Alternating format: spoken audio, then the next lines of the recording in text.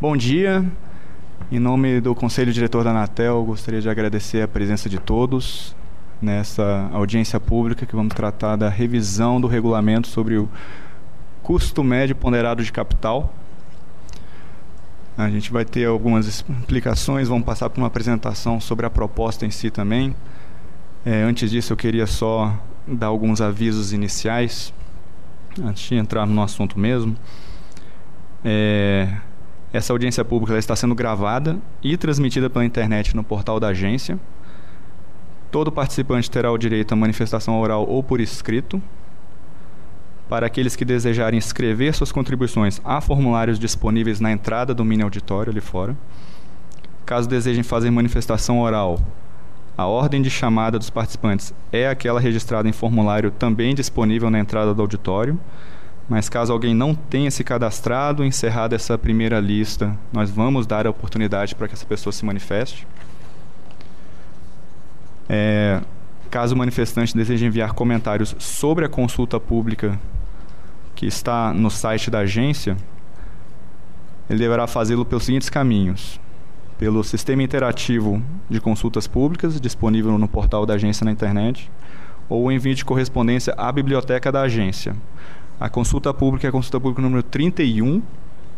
Ela está aberta para comentários até o dia 5 do 9. Ok, eu vou passar a palavra rapidamente para o Leonardo, que é o gerente de acompanhamento econômico da prestação de serviços, para fazer uma pequena abertura sobre o assunto da nossa audiência. E em diante passar para a apresentação, eu acho que o Arthur vai, vai conduzir, né? Leonardo, por favor. Bom, bom dia a todos. É, como já adiantado, o, a presidente da audiência pública tem o fito de é, analisar e debater a revisão da metodologia é, de estimativa do custo médio ponderado de capital. Metodologia esta que é aprovada pela Resolução 535 de 2009 e, e foi desenvolvida em 2007.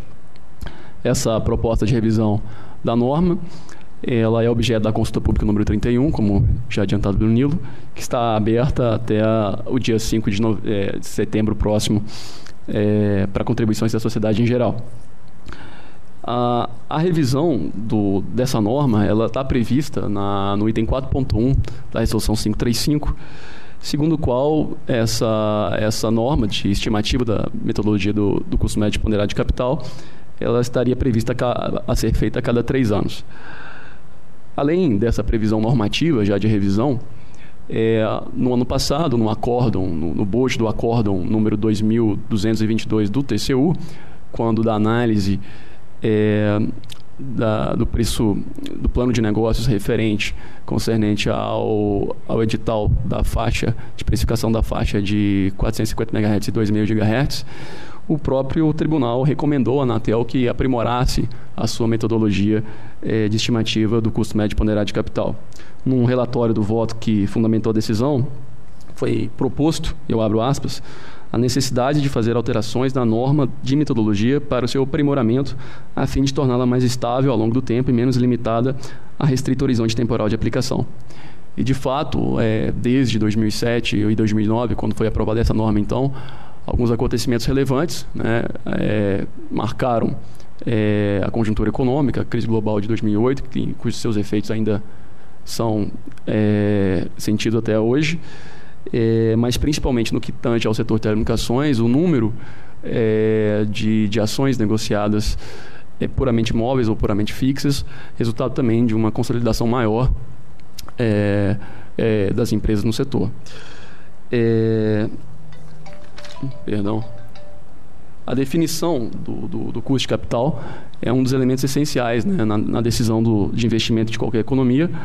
E sobre a ótica de uma empresa privada, o custo de capital é a taxa de retorno mínima ajustada a um dado risco que um projeto de investimento deve oferecer, obrigado, para que ele seja aceitável pelos seus acionistas.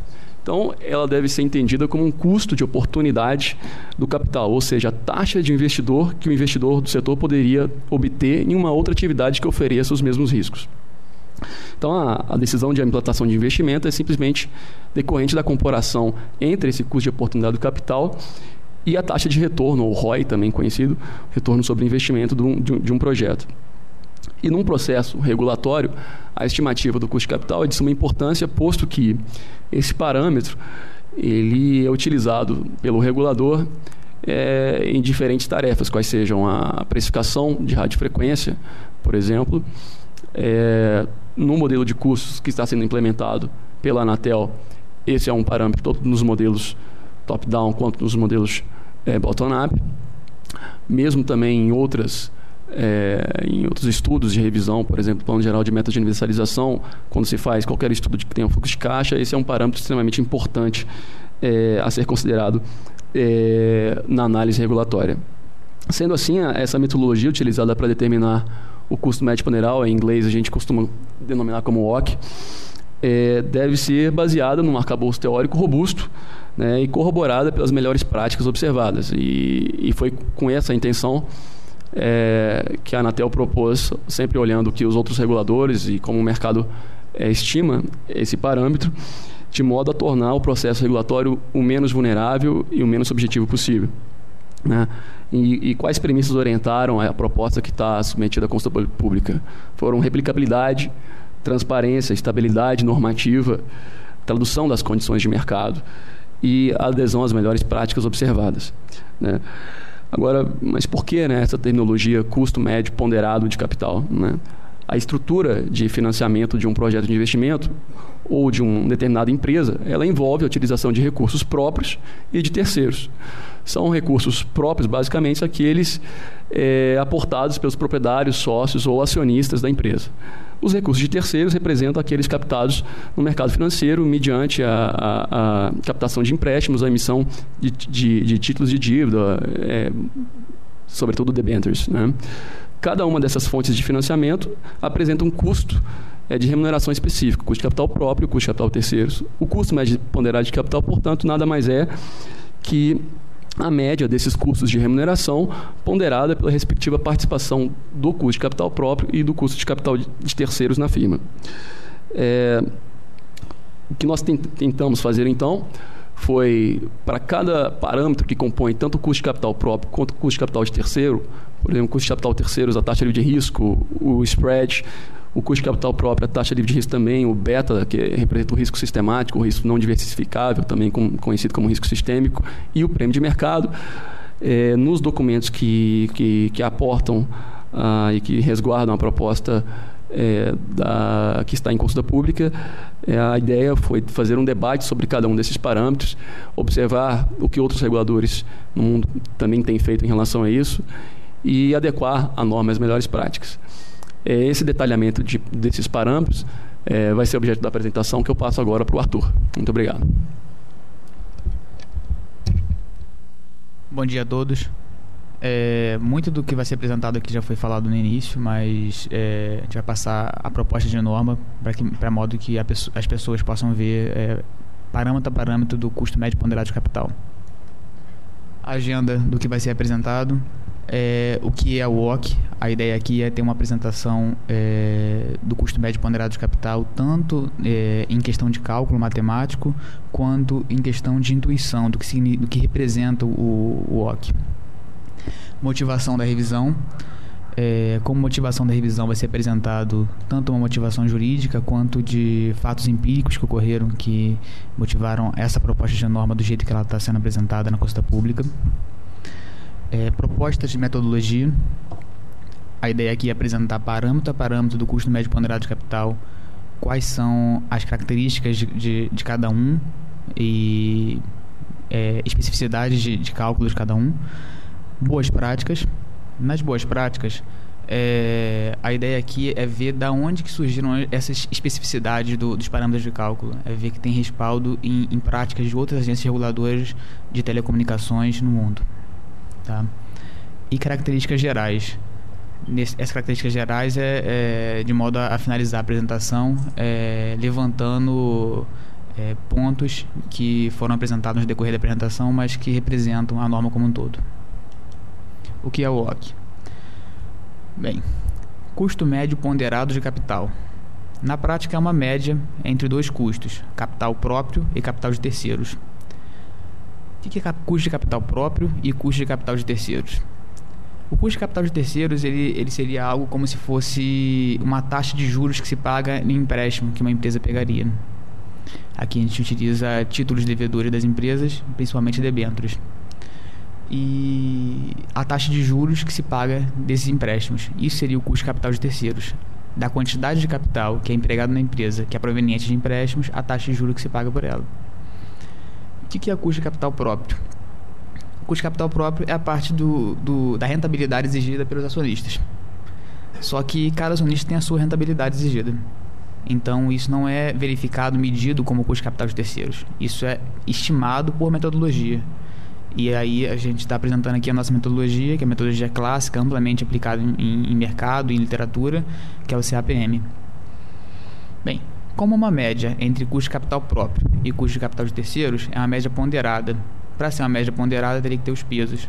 O peso aqui, na prática, é a quantidade, de, a proporção de, de, de capital próprio para o custo de capital próprio e a proporção de capital de terceiros para o custo de capital de terceiros. Seria é, o valor de mercado da empresa na parte de capital próprio e a quantidade de endividamento no, no custo de capital de terceiros. Essa aqui é a forma simples de, de custo de capital próprio. Vocês verem no, no final do, do slide tem já a média ponderada e seria uma média ponderada entre capital, o custo de capital próprio e o custo de capital de terceiros. Bem, agora uma, uma explicação mais intuitiva, não propriamente de cálculo. É, a rentabilidade que um projeto deve alcançar para custear o serviço da dívida, que seria o capital de terceiros, e o retorno do investimento realizado pelo, empregador, pelo empreendedor, que seria o capital próprio. Rentabilidade exigida. Normalmente, em, em, análise de investimentos, os livros de análise de investimentos mais iniciais, eles adotam dois métodos de verificar se um projeto ele é rentável. Primeiro seria o valor presente líquido e depois por TIR, taxa interna de retorno. É, a regra de, de, decidir se um projeto é rentável ou não por TIR é ver se a TIR ela é maior que uma taxa mínima de, de atratividade. Na prática, a taxa mínima de atratividade seria o OC, que é a rentabilidade exigida da, da empresa. E o VPL, utilizando o OC dentro do cálculo do VPL, se o VPL foi positivo ou não, que seria ele rentável ou não. Então, seria uma rentabilidade mínima exigida para um determinado uma empresa ou um determinado setor, uma carteira de ativos. Custo de oportunidade é um conceito muito adotado em, em livros econômicos, tá?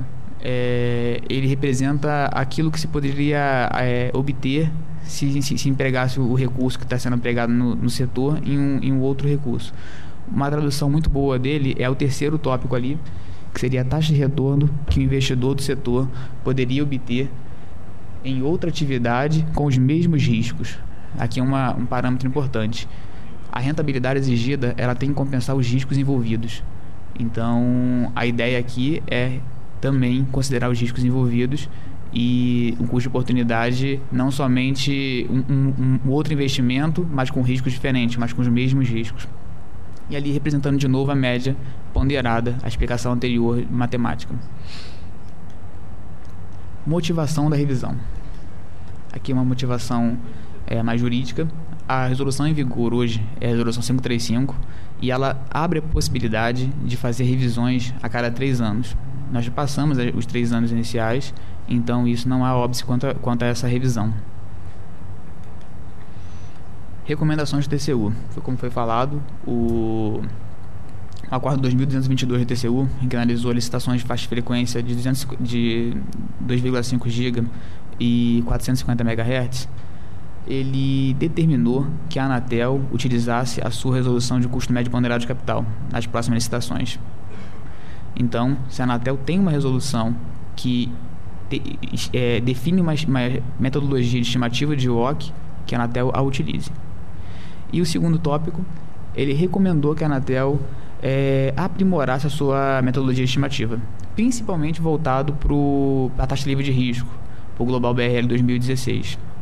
A Anatel entende que a norma deve ser revisada com outros parâmetros também, como um todo, e é isso que vai ser apresentado dali para frente. E muito de, dessa revisão vem dos, da motivação empírica, que é a próxima.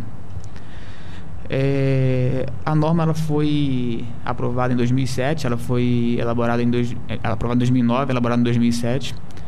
E a gente entende que essa, essa proposta de norma de agora ela está mais adaptada a crises financeiras que ocorreram em 2008, que a gente sente os reflexos dela até hoje. e a redução do número de empresas é, listadas em bolsa. Que ocorre? É, se a gente tem uma regra rígida de cálculo e esse cálculo seja por regressão, a gente está condicionado a ter empresas listadas em bolsa. Se não tem empresas listadas em bolsa, não tem a regra, não, não tem o cálculo de, do, do OC, por regra de cálculo. Então, essa norma que está sendo é, proposta agora, ela abre possibilidade de estimar o OC, alguns parâmetros do OC, por métodos de referências, que seria um método de tanto, tanto beta quanto o custo capital de terceiros, que a gente vai ver, a gente já viu um pouco antes os parâmetros, vai ver melhor parâmetro a parâmetro, eles estão condicionados a empresas listadas em bolsa. A ideia é abrir a possibilidade, caso não haja empresas listadas em bolsa, estimar o OC e não ter esse impedimento para o cálculo.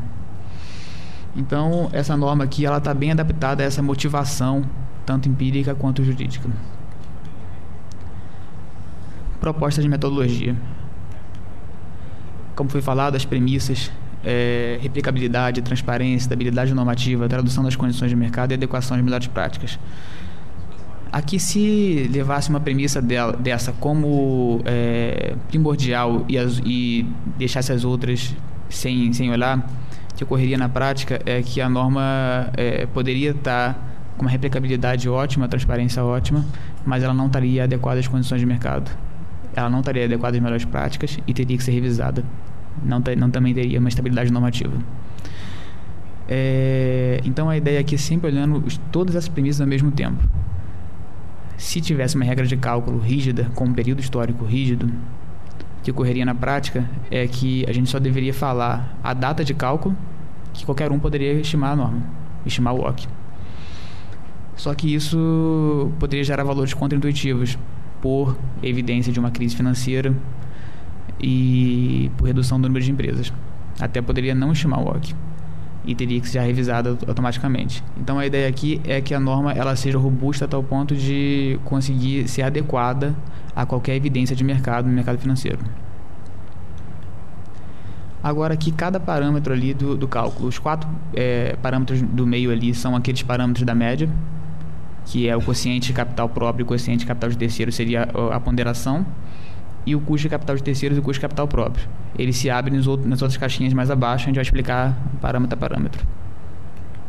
Bem, primeiro, o custo de capital WOC. A fórmula que tem é um pouquinho diferente, tá? mas a intuição anterior era a mesma. É uma média ponderada entre o custo de capital próprio de terceiros. Ali é feito um ajuste para critério de crédito tributário em cima de capital de terceiros. E o empréstimo aqui, ele retira disponibilidade. É endividamento líquido. Tá? E vocês podem perceber que em vários parâmetros gerando capital de terceiros tem um J na fórmula. Esse J é voltado para o critério de agregação. Então a norma ela tem a possibilidade de estimar um OC para cada critério de agregação. O que, é um critério de agregação? A gente entende que a regra geral do critério de agregação é o setor de telecomunicações. Mas no relatório da divisa que está disposto na consulta pública, é, já, já estima um OC para áreas de negócio fixa e áreas de negócio móvel. É uma classificação de uma, de, um, de uma área de negócio, que seria esse critério de agregação aqui no caso. Mas a regra geral, apesar de, de, de abrir a possibilidade de escolha de, de critério de agregação, a regra geral é setor de telecomunicações. E a gente considera ali como o imposto sobre resultado, o imposto de renda de pessoa jurídica e o CSLL. Só um comentário. É, vocês podem ver que todos os parâmetros têm J, com exceção do custo capital de terceiros a gente vai ver já que é o KD ali. A gente vai ver já é, que ele não tem o, o, o J, ele, ele é estimado do setor de telecomunicações como um todo. Custo capital de terceiros. O KD, ao mesmo tempo, a gente vai já explicar a taxa livre de risco voltada a ele e o prêmio de risco, que é o spread, prêmio de risco de crédito. Bem, como a gente está nessa norma, tendo um modelo brasileiro, um modelo voltado à economia brasileira, a gente está adotando como taxa livre de risco a taxa CDI. Nesse caso em especial, é, nesse caso no, no, no capital próprio também, só no prêmio de risco que não, a gente está usando a taxa livre de risco do dia. Então é do dia de cálculo. Vocês podem ver que é um T maiúsculo aí. Na definição da norma, o T maiúsculo é a data de, do, do dia de cálculo, não é uma média. E aplicado ao spread. Como spread, a gente está vendo é, a rentabilidade adicional dos títulos é, devedores da, das empresas que foram é, que são escolhidos por critério de agregação que são indexadas ao DI. Normalmente os títulos já são, como já são indexados ao DI, a, a, a, fórmula de cálculo simplesmente pegou a taxa livre de risco, já, que já é o CDI, e aplicou o spread em relação a ela, que seria uma média do, da taxa paga pelas empresas. Nesse caso aí não tem um critério de agregação, então são todas as empresas do setor de telecomunicações que são envolvidas, são utilizadas para cálculo. Custo de capital próprio. É aí que a gente não consegue fazer a média. É aí que tem que estimar. E a gente vai ver já qual é a metodologia que, que utiliza essa, essa estima, estimação. A gente usa a metodologia CAPM, tá? a metodologia clássica em, em literatura nesse, nesse assunto de ROC. É, a ideia aqui é utilizar a mesma metodologia que o mercado utiliza e a gente está passando aqui essa metodologia. Para a taxa livre de risco, está utilizando o CDI, como foi utilizado anteriormente para o risco de, o custo de terceiros e também o dia, tá? Vezes uma rentabilidade do negócio que seria aplicada ao risco que, que aquele negócio está sendo envolvido. Então, a ideia dessa metodologia é remunerar tanto a taxa livre de risco, tanto o que seria uma remuneração livre de riscos, quanto uma remuneração pelo risco do setor. E essa remuneração pelo risco é aquela multiplicação do beta vezes o prêmio de risco de mercado. Vocês podem ver ali que o único parâmetro que tem o J é o beta e ele, ele passa esse J para o custo capital próprio. É, o beta ele vai tentar estimar o risco não diversificável do setor. E ele vai multiplicar pelo prêmio de risco de mercado. Já já vai explicar o beta e o prêmio de risco de mercado melhor. Mas como taxa livre de risco aqui está sendo o CDI e utilizado no dia de cálculo. Agora o beta. Bem, coeficiente de risco sistemático, risco não diversificável, ele tenta estimar qual seria o risco aplicado à empresa que ela está sujeita ao mercado, à associação de mercado. É, vocês podem ver que ele tem um critério de agregação porque cada setor tem um risco diferente. Utilizando um critério de agregação diferente, você tem um risco diferente atribuído ao mercado. Possibilidade estimativa pelo método de cálculo e método de referências. Apesar de abrir a possibilidade estimativa por dois métodos, se define como regra geral o método de cálculo. Tá? Por que o método de cálculo? O método de cálculo ele, ele é mais ele é matematicamente mais transparente dentro daquelas premissas de transparência. Só que é, caso não haja um número de é, um, empresas suficiente para se estimar pelo método de cálculo, teria que ser pelo método de referência, senão o, método, o, o cálculo do OC ele é inviabilizado, que não tem estimativa do beta. O beta, ele seria para método de regressão. Se eu não tenho empresas listadas em bolsa, eu não tenho dados para fazer a regressão. Então, o método de referências, ele estima empresas da mesma área de negócio, só que atuando em outros mercados, se desalavanca esse beta e realavanca para o setor de telecomunicações com a estrutura de capital do setor de telecomunicações. É, tá. É, possibilidade de escolha do período histórico de dados vocês vão ver já já nas boas práticas que essa possibilidade ela foi adotada por outras agências devido à crise. E se a gente tem aqui um período rígido de dados, a gente pode gerar valores até contra-intuitivos. E as, o período de crise ele aumenta muito a dispersão. Isso também prejudica muito a estimativa. A ideia aqui é que seja possível escolher um período de dados histórico e é, excluir períodos de crise. O que ocorre quando, quando você tem uma anormalidade de mercado é que se, tem, se a gente está logo depois dessa anormalidade tem um período histórico rígido, é, a nova realidade de, de, cálculo pode ser muito diferente da realidade anterior à crise. Se a gente tem um período de seis anos, por exemplo, cinco anos rígido na norma, e a crise ocorreu há um ano atrás, a realidade de hoje já é bem diferente da realidade de cinco anos atrás. Então, gente estaria estimando um beta que ele não seria adequado para o setor de telecomunicações na realidade que estaria atual. Por isso, a possibilidade de estimativa. Ao mesmo tempo que um período maior, sem anormalidade de mercado, ele facilita a estabilidade do, do cálculo, ele diminui a dispersão dos dados. Vocês podem ver no relatório da Divisa que ela escolheu para esse, esse cálculo já agora, com, com valores já é, divulgados na consulta pública, é, um período de 5 anos, porque ela considerou que em 5 anos teria uma dispersão menor do que em 2 anos. Mas isso depende das condições de mercado da época. Agora a parte de prêmio de risco de mercado. Bem, para remunerar o prêmio de risco de mercado, a gente tem que definir um, um índice de mercado.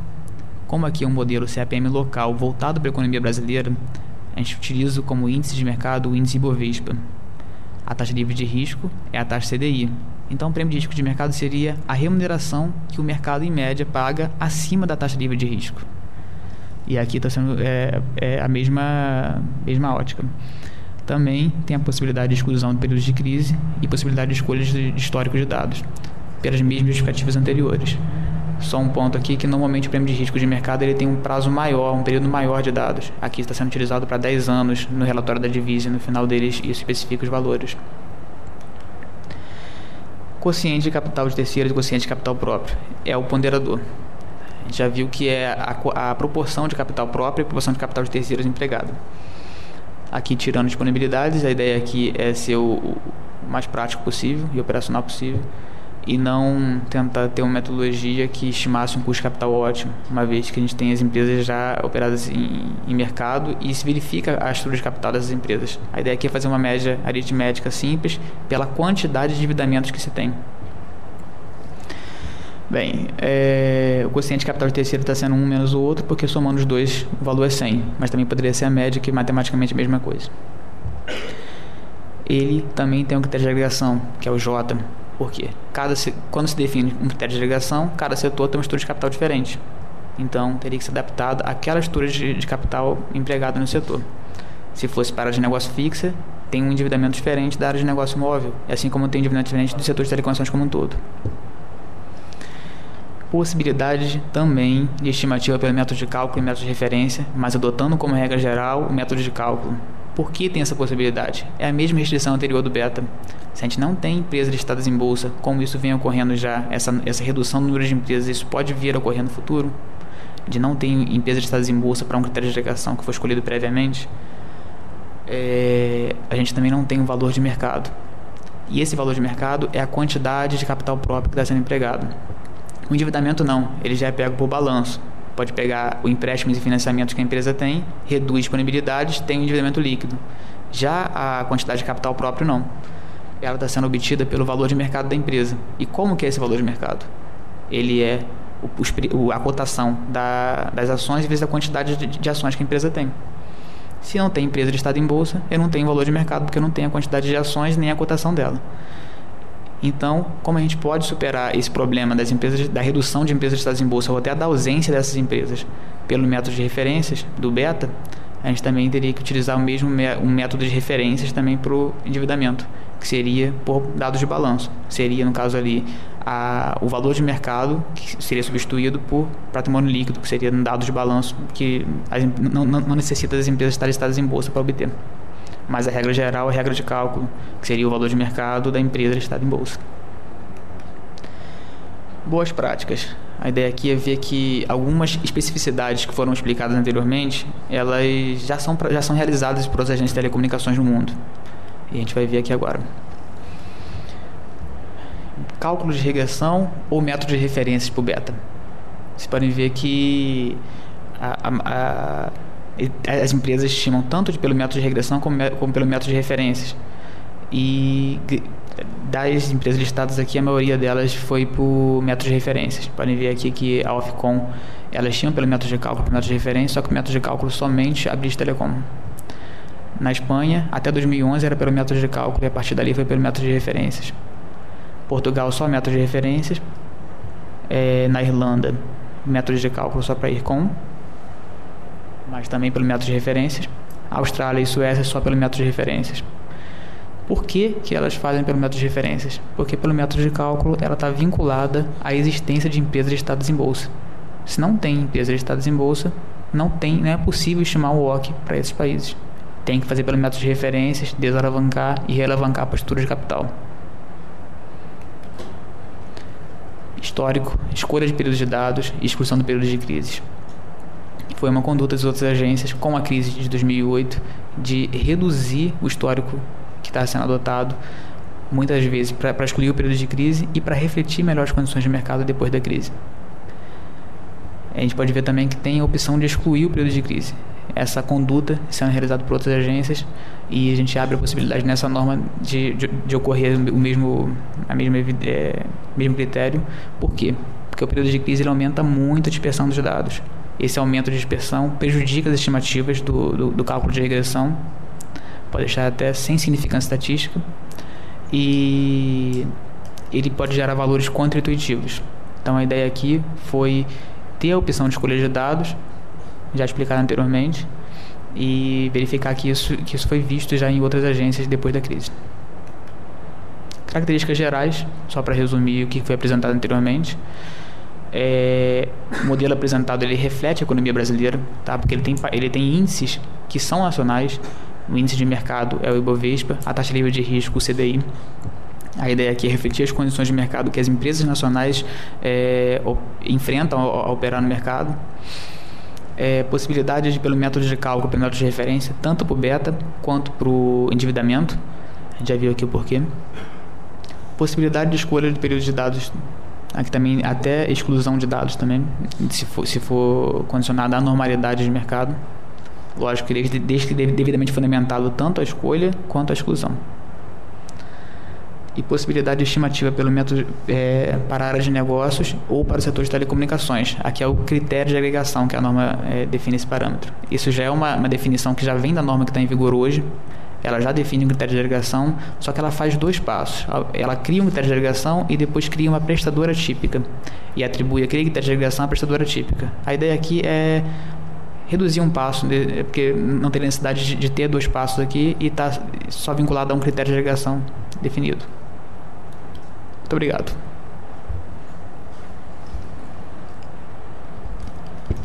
É, nas minhas considerações iniciais, eu acho que era importante só mencionar, eu fiz uma breve introdução do tema, mas que no âmbito do projeto do modelo de custos, é, em que, entre outras questões, estamos discutindo a estimativa de valores de referência de terminação móvel, de valor de uso da rede móvel, de valores de exploração de linhas dedicadas em regime de exploração de, de, de, é, é, industrial, bem como XDURL, TRU.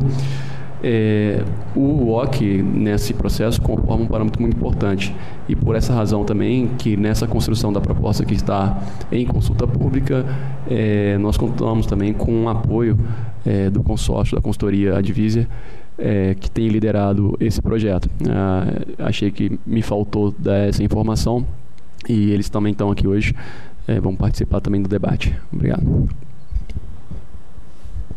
Bom, obrigado, Leonardo. É, obrigado, Arthur, pela apresentação. Acho que ela foi muito clara e muito concisa na proposta.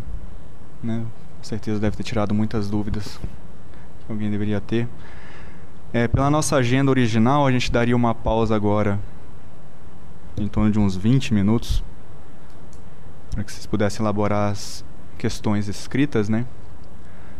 Mas, dado nosso nossa rapidez, eu acho que podemos já, já continuar. Eu queria entrar na parte de manifestação oral e se alguém gostaria de fazer uma manifestação escrita durante esse período, nós passaremos para as escritas depois. Eu acho que é, até acelera o processo e e não gasto o tempo de ninguém, né? Gostaria se o pessoal da consultoria gostaria de nos acompanhar aqui, caso seja feita alguma pergunta, caso vocês queiram nos auxiliar, fique à vontade.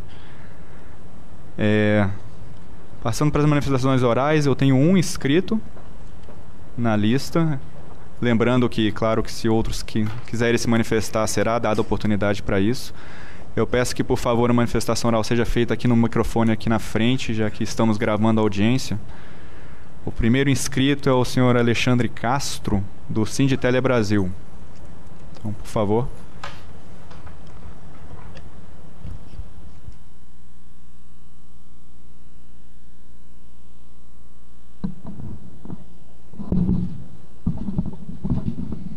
Bom, bom dia a todos da mesa.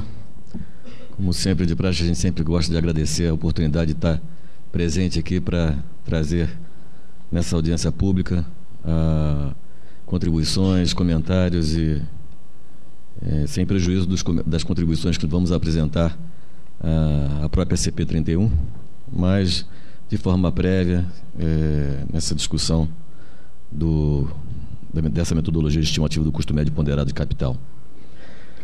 Bom, a minha manifestação vai ser breve.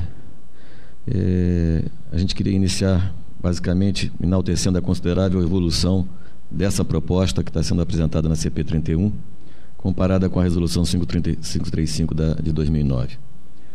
O Cine Brasil acredita fortemente que, unindo as contribuições de todo, a Anatel chegará a uma, uma metodologia que impulsione o setor e traga amplos benefícios para toda a sociedade. É, estamos debatendo o assunto internamente no, no Cinter Brasil com as nossas associadas, e, mas desde já estamos entendendo que poucas são as melhorias necessárias a esta proposta. Uma delas é que não se recomenda o uso do mesmo indicador, tanto para a taxa livre de risco como para a taxa básica de empréstimos. Isso foi um objeto de consenso entre todas as empresas.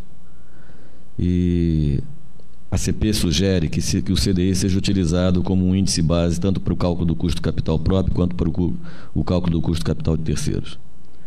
O Sintra Brasil, com base nas melhores práticas do mercado e embasado pelo modelo CAPM, aconselha a utilização do rendimento de títulos, títulos públicos pré-fixados de longo prazo, com prazo de vencimento não inferior a cinco anos, como taxa livre de risco, base para o cálculo do custo capital próprio. A utilização do CDI só poderia ser aceita caso não houvesse nenhum título público pré-fixado disponível no mercado. Nesse caso, aí seria, seria admissível a utilização do CDI. Adicionalmente, a gente registra que a estimação do coeficiente de risco sistemático por meio do cálculo deve levar em conta período não inferior também a cinco anos, mesmo período que também deve ser levado, observado para os dados históricos a serem utilizados para representar a estimativa do prêmio de risco de mercado. É, continuaremos trabalhando no Sinter Brasil para apresentar novas contribuições, aquelas que até, até o momento ainda não foi possível se chegar a um consenso entre as empresas, mas estamos trabalhando para isso e pretendemos então até a sexta-feira próxima estar submetendo a, ao sistema da Anatel as nossas contribuições visando o desenvolvimento do setor para o benefício dos usuários. Essa era, por hora, essa é a manifestação do Sinter Brasil e das associadas e agradeço mais uma vez a oportunidade. Muito obrigado.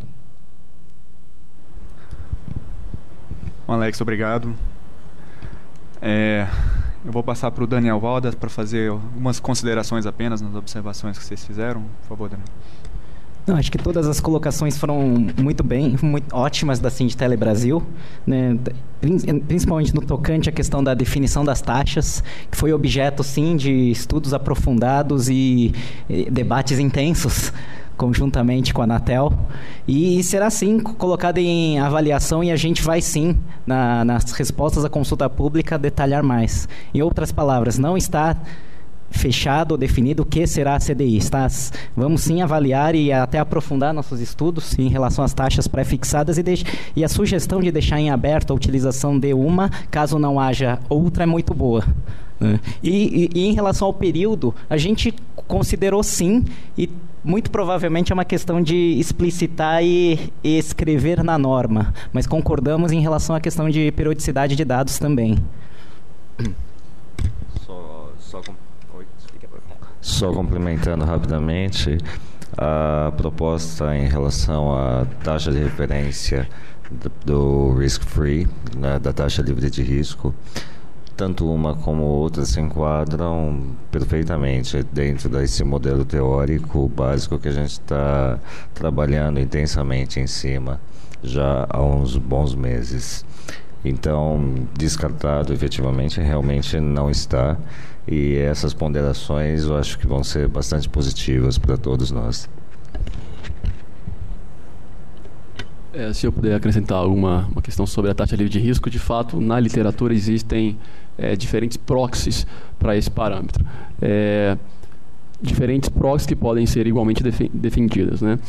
A questão da escolha da CDI foi na discussão, e isso está muito é, endereçado no informe que subsidia a proposta, é, na discussão sobre a definição sobre a proxy da taxa livre de risco, é, nós ponderamos aquelas premissas de replicabilidade, de, de transparência da norma, e, e, e, por isso consideramos a taxa a CDI de, de maneira que é uma, uma, uma, taxa bastante conhecida pelo mercado e amplamente divulgada é, a questão da definição de um título público específico, nós ponderamos sobre a possibilidade de, de cara na norma, definir é, de imediato um título, sendo que ao decorrer dos anos esse título ele, ele, ele passa a deixar de ter características de longo prazo pela própria a passagem do tempo. Foi exatamente isso um dos motivos da crítica do TCU em relação ao Global é, BRL 2016.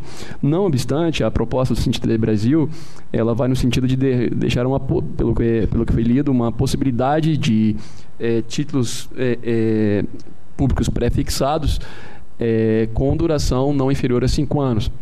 É uma possibilidade, obviamente que a gente perde um pouco de previsibilidade, porque então teríamos um rol de títulos que poderíamos é, é, é escolher, mas é, pra, no, durante a confecção do cálculo. De qualquer forma, a contribuição é muito válida e, e como já adiantado, nós estaremos realizando os estudos para entender como ponderar esses objetivos de transparência para o mercado e, ao mesmo tempo, é, de flexibilidade da norma. É, quanto ao período histórico de dados, só para é, inicialmente ainda é, é, considerar também que a contribuição do, do Brasil foi muito boa. Quanto ao período histórico de dados, é, a gente deixou a opção de escolha por quê? O período histórico de dados, se a gente tem uma crise muito recente e tem um período de 5 anos, é, grande parte desse período de 5 anos seria anterior à crise e as condições de mercado poderiam estar bem diferentes para posterior. Mas isso não está fechado, é uma, é uma contribuição que ela vai ser muito analisada, muito debatida internamente para a gente definir melhor na, na consulta pública, mas a gente é, gostou muito da, da contribuição e, e, ela vai ser analisada internamente. A gente pode ver que na, outras agências de telecomunicações elas tiveram essa conduta depois da crise de reduzir o período histórico de dados justamente para refletir melhor essa, essa época depois. Mas, obviamente, quando não tem anormalidade de mercado, ou que ela, durante esse período, quando elas não são muito recentes, quanto maior um período, melhor. a gente tá, nesse cálculo já agora está sendo utilizado cinco anos já para o período de dados. Arthur. Queria só complementar para dizer que algumas empresas elas não têm cinco anos de série história, histórica, né?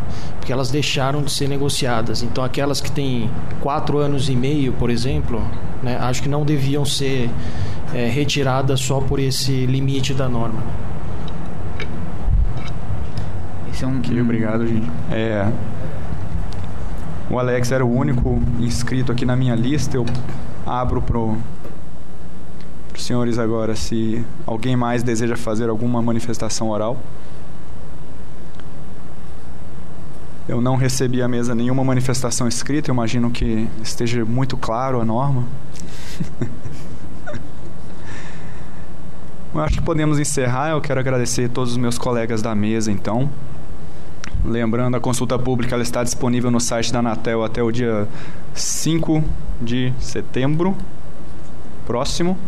Temos aí mais duas semanas ainda de, de consulta. Eu peço ao Sinditela Brasil que insira suas contribuições no sistema também, que serão, muito, serão analisadas com certeza. É, muito obrigado a todos e tenham um bom dia. A audiência está encerrada.